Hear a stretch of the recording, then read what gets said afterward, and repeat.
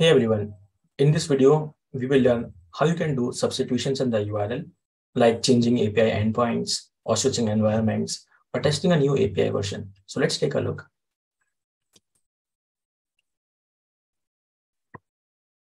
So you have to install Requestly that is available in Chrome store.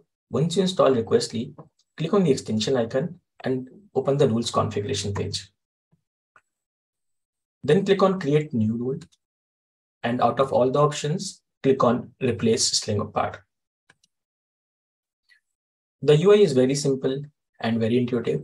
You just have to specify, uh, replace a particular substring in the URL with another substring. So for example, we have a site that contains Adobe DTM script that is minified. So let's take a look. We go to the network tab and search for launch.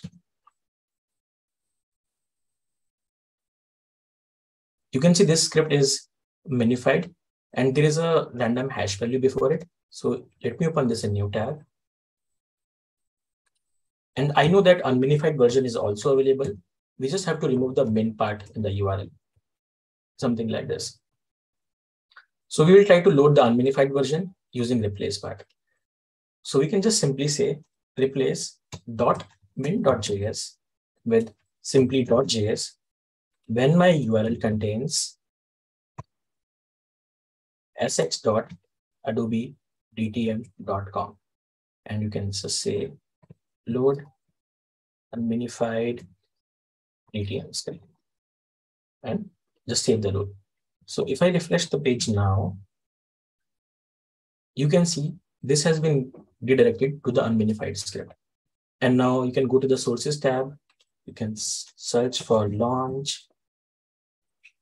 And now you can easily inspect all the code and put the breakpoints.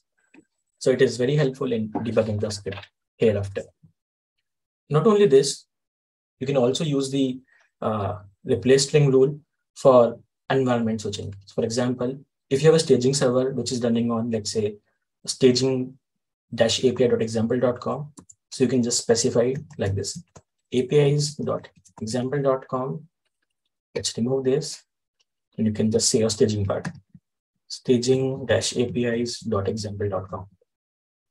So now any URL which hits api.example.com will be actually hitting staging apis.example.com. You can also test this out. So you can go to test this rule and let's say,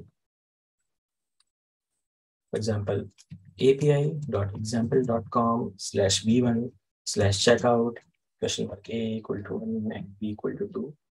When we test this tool,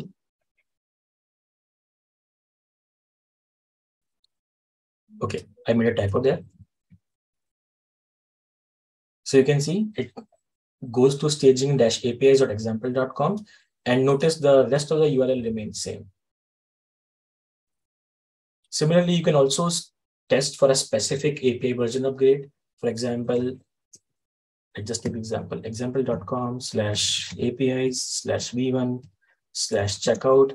And let's say I want to load v2 slash checkout. So I can just say API slash v2 slash checkout.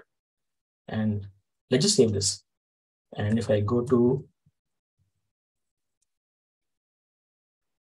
example.com, let's specify some parameters there.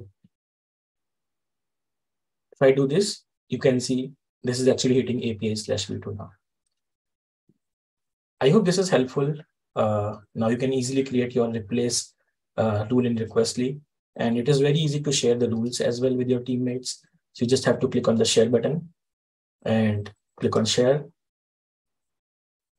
you get a link which you can share on your Slack, on your email, and your preferred communication channel. I hope this is helpful. This is Sachin. Happy debugging.